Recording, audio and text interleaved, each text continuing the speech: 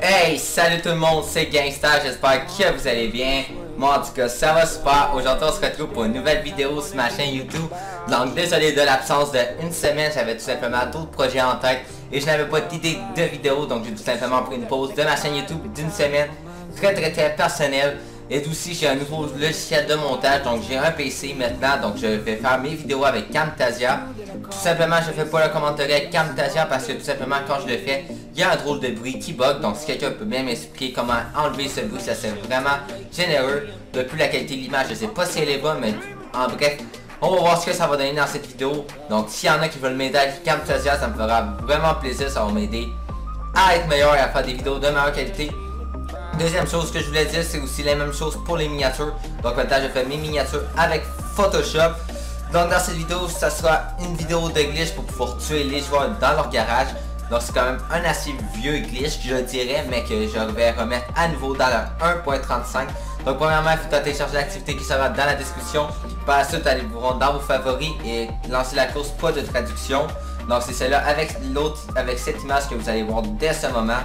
Une fois que vous l'avez trouvé, vous allez tout simplement lancer l'activité. Là, là, vous allez voir quand vous allez télécharger l'activité, elle n'aura pas le même nom que la course dans cela et c'est normal. Donc là, vous allez faire tout simplement, vous allez lancer la course comme ça. Une fois que vous allez être dans le menu pour choisir vos motos, tout simplement ce qu'il faudra faire les amis, c'est quitter cela. Donc faites B et X. Et là, techniquement, vous allez apparaître dans le garage et pouvoir tuer les joueurs. Donc là, nous, on va faire tout de suite un petit coupage rapide pendant le retour au mode.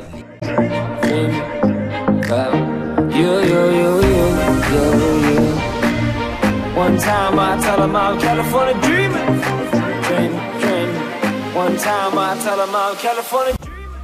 Donc une fois que vous allez être rendu dans votre garage, vous n'allez pas pouvoir prendre les armes. Donc ce qu'il faudra faire, c'est vous rendre ici. Par la suite, appuyer sur carré et sauter. Par la suite, vous allez pouvoir, vous allez prendre vos, pouvoir prendre vos armes. Vous allez pouvoir tuer les joueurs.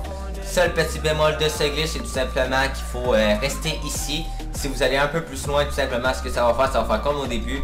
Vous allez voir vos véhicules et c'est comme si vous seriez dans votre garage. Donc ça serait franchement assez désolant. Donc moi, je vous ai tout de suite montré ce que ça faisait quand on s'approchait trop. Donc il y a des limites qu'on peut aller. Donc ça, je vous laisse les explorer. Mais bien sûr, quand on va à côté de la porte, comme moi je vais le faire dès ce moment, tout simplement ce que ça va faire, que ça va bugger. Les véhicules vont apparaître. Vous allez plus pouvoir tuer les joueurs.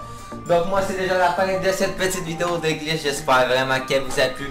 C'est le cas, n'hésitez pas à vous abonner à cette chaîne YouTube, lâcher un petit pouce bleu. Et pour ceux qui veulent bien m'aider dans Camtasia et dans Photoshop pour que je puisse faire des meilleures miniatures, une meilleure qualité d'image et tout, ça sera, fera vraiment plaisir parce que c'est loin d'être comme Chat Factory. C'est beaucoup beaucoup plus complexe et moi je vous dis à la prochaine, c'était le Gangster.